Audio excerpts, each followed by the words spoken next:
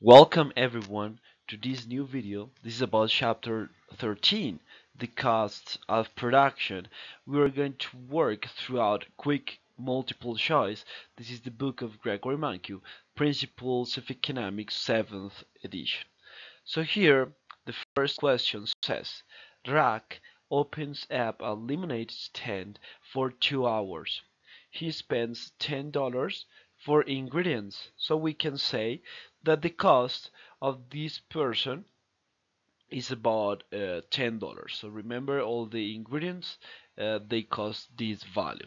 Then um, they sell, I mean, he sells $60 worth of lemonade. So this is going to be the total revenue for this guy.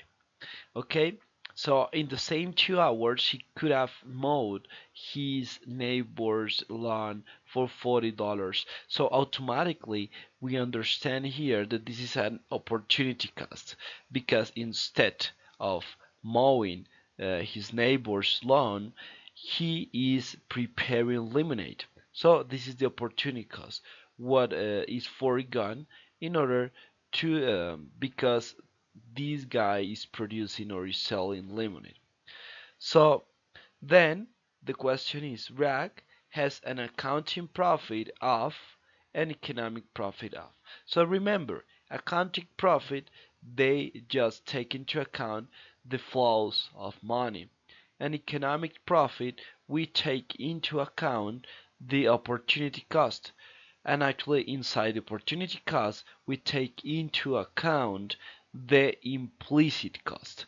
And this one definitely is an implicit cost. You don't need to pay that but it affects your decision to put or to open up a lemonade stand. So then accounting profit could be 60 which is going to be the revenue minus the costs it's going to be 50 and then the economic profit is going to be the revenue minus the explicit cost which is going to be 10 minus uh, the implicit cost is going to be 40 so then really the economics profit is going to be 10 then the question we have these four options and naturally the question will be answered by the option 50 by uh, accounting profit and 10 by economic profit.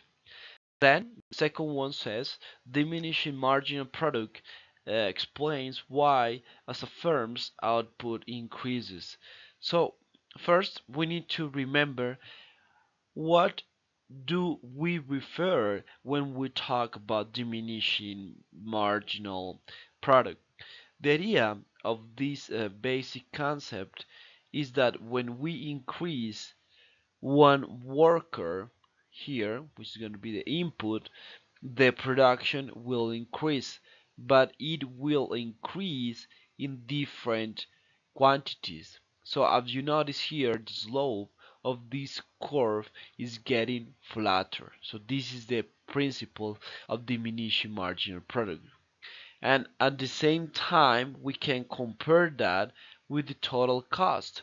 Here we have 30, which is automatically the fixed cost. Why? Remember, fixed cost are the that they are not related with the quantity produced. So here it doesn't matter how much quantity we produce we have to pay every single time this $30 so this one the cost is like kind of this increases but the slope it gets steeper. And this is they have like the opposite side of the coin. So when this one is getting flatter the cost getting higher because your marginal cost of of people is going to be higher compared with the quantity produced. They are not as productive and you need to pay in the same quantity them. So for this reason this is the cost the marginal the total cost curve. Okay then at the uh, options we have here. So naturally remember our two graphs so we need to find one who says or which says uh, this one is getting flatter and this one is getting steeper. So then this one the production function gets flatter while the total cost curve gets steeper. Our third question says a firm is producing 1000 units at a total cost of 5000 if it were to increase production to 1001 units, its total cost would rise to 5000 eight dollars. So what this information tell you about the firm? So here we're going to summarize the idea. We're going to retake some important concepts that you really need to take into consideration to understand this um, this idea this topic so then remember the marginal cost we can define as the change in total cost over one usually because it's an additional unit so here we can uh, abbreviate them with marginal cost is equal to delta. This triangle is called in the Greek alphabet delta, which represents change, change in total cost over the change in quantities. So here we have what information we have here. We have here um, total cost, which is going to be 5,000. Then we have the marginal cost uh, concept. Then we can infer with this information here automatically there is an increase in production to 1001 unit so it's going to be the final one minus the initial one it's going to be 1 as usual then we have the total cost which is going to be this difference. So in the numerator we have 8 over 1 is going to be 8 so this is the marginal cost. And what is the definition or the interpretation of that number? It means that if you produce one unit uh, additional the cost of this particular additional unit is going to be eight dollar and what about the the average total cost so the average total cost here uh, is going to be total cost over quantity. Then uh, we can abbreviate them as ATC equal total cost over quantities. And here is the quest the sorry the question. Here we have 5,000 over 1,000 is going to be 5. So here the marginal cost of the 1001 unit is going to be 8 and the average total cost of this quantity produced is going to be 5. Then we have these options. So naturally we're going to choose this one when the marginal cost is 8 and the average variable cost is 5.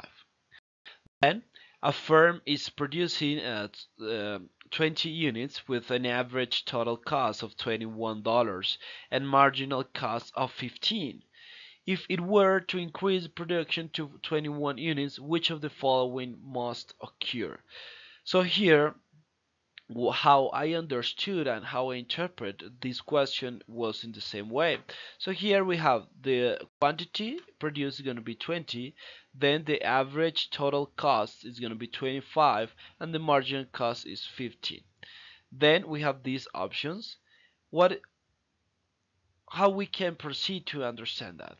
First, one important fact of this one is that automatically you recognize that the marginal cost is lower than the average total cost. So what does it mean? It means that the ATC is in a decreasing part. And why? Remember the example of the average uh, grade point. So imagine that the that your uh, average, so your GPA is 25 and your next exam is going to be 15 then automatically this one is going to decrease. So for this reason when the MC is lower than this one this is decreasing. Of and on the other side if you have a better score in the next exam is going to be 30 so this one is going to increase. So it's in the increasing part. So we automatically infer that. Then uh, this time uh, we can infer that definitely the marginal cost will increase. And how how? Actually take into account these two questions. So we are here in the marginal cost which um, traditionally is going to be this so like a U shape a little bit. So this is the fact.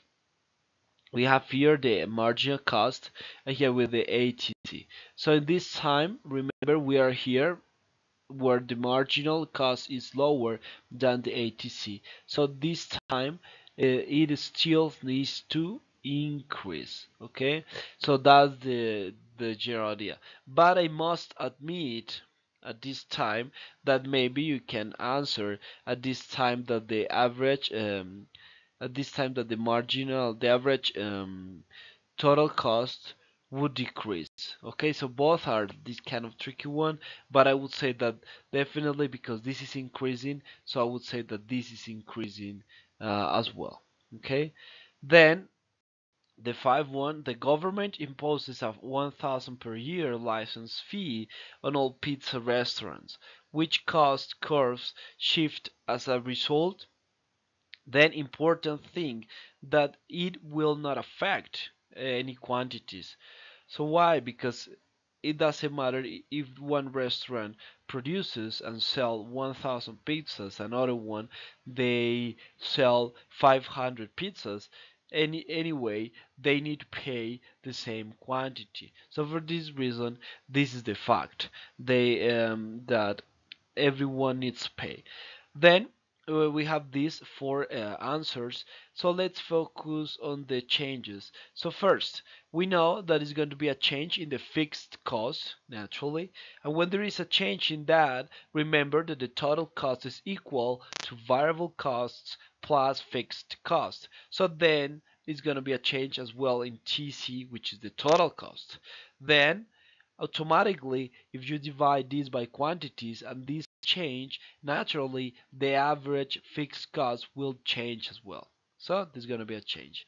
And the other one is going to be this one when we divide by Q, which is the definition of the average total cost, it will change as well because the total cost, it means the numerator changes. So for this reason, I should say that the average total cost, this one, and the average fixed cost, they change. The um, the last one is about if a higher level of production allows workers to specialize in particular tasks, a firm will likely exhibit of scale and average total cost. So we need to um, remember our different costs uh, in the short run and in the long run.